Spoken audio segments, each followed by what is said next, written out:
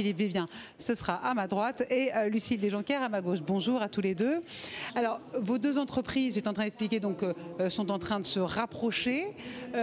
Vous m'expliquez pourquoi Il y a des, qu'est-ce qu'il y a? Il y a une complémentarité dans les expertises, c'est ça? On peut parler d'une alliance euh, totalement complémentaire. Si De je vous mariage. dis l'union fait la force, euh, Oui. voilà, ça illustre assez bien ça. Je vous laisse. euh, Oh, ben, non, mais d'abord, il y a Je veux tout savoir. tout. tout. Ben, D'abord, il y a un ADN commun.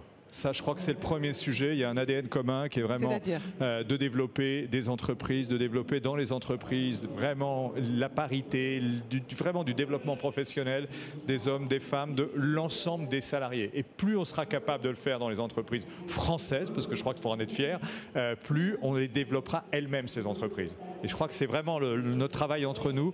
Nous, on accompagne les entreprises sur tout un tas de sujets. On connaît beaucoup d'entreprises. Lucille a vraiment une grande capacité à travailler sur bah, ton cœur, ton cœur de métier. Voilà, fait. Exactement. moi, je suis chasseur de tête et depuis 10 ans, euh, outre des recrutements classiques, je travaille sur la féminisation des conseils d'administration et maintenant des COMEX. Et on peut se prévaloir d'avoir euh, la plus grosse base de données au monde de femmes éligibles pour des boards. Ça, c'est vraiment un investissement euh, important.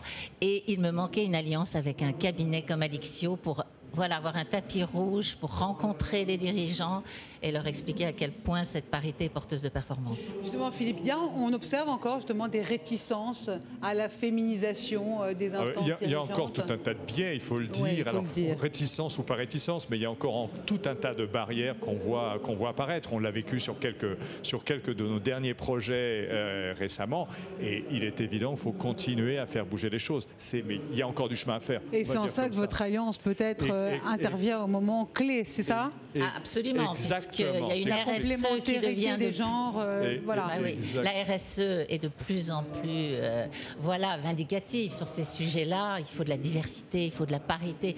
Dans les instances de direction, c'est important parce qu'en verticalité, les femmes qui seront au pouvoir vont pouvoir aider toutes les femmes.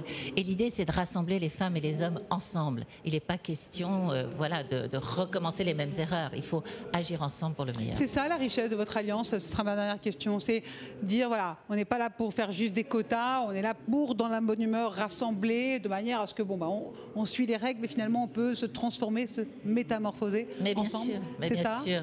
Vous savez, moi j'ai un adage, je dis que les femmes euh, n'iront nulle part sans les hommes et les hommes n'iront pas plus loin sans les femmes. Alors il est grand temps de faire ensemble. Ce sera le mot de la fin. Merci beaucoup. C'était très joli. Merci Lucille Desjonquières, Merci. Philippe Vivien. Merci euh, beaucoup à tous les deux et très bon big. Donc, euh, numéro 8.